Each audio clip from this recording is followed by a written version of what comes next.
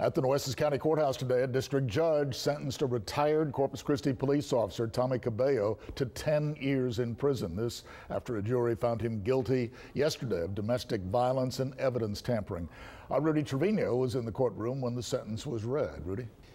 Joe, the courtroom was packed when Judge Inna Klein told defendant Tommy Cabello he will do prison time and not probation for his crime. This after a jury found him guilty of domestic violence, tampering with witnesses, and tampering with evidence. The most compelling moments, though, coming during the victim impact statement.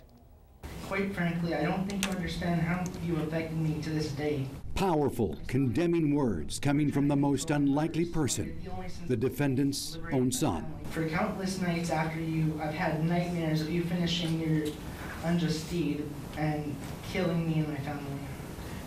I know you're not a stable person or my mother, so why should I dare trust you with my siblings? The victim's impact statement coming just moments after 214th District Court Judge Inna Klein sentenced the 14 year veteran of the Corpus Christi Police Department to the maximum sentence of 10 years. Today is a victory for justice. Reynaldo Pena, appointed by the DA's office to prosecute the case because of a conflict of interest, says his job to get a conviction has been accomplished. Nobody would argue that this was not a explosive, dangerous situation.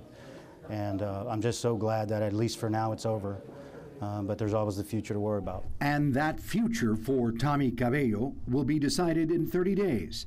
That's how much time he has to file an appeal, which his attorney says he will most certainly do. A lot of the trial was focused on things that weren't actually involved with these allegations, uh, but be that as it may, it, it, it, there's such a history that it's, it's a tough case. In the meantime, while Cabello was sentenced to 10 years in the Texas Department of Corrections, his actual time served will be closer to a little more than one and a half years.